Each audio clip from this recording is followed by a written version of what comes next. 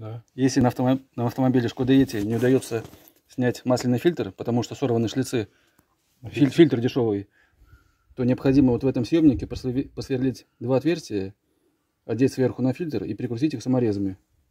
Дальше снимаем, как обычно. Надо момент еще раз снять. Потом, когда разобраны уже. Дальше, если саморезы вытаскиваем, естественно. Ну, покажи, когда уже будет готово. Пальцы но не видно.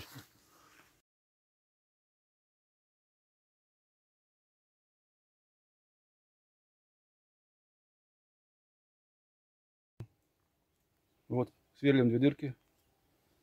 Сюда вставляем саморезы и прикручиваем прям к фильтру. Ну, ты же покажи, вон один фильтр. Вот фильтр дырки такие получаются. Надень.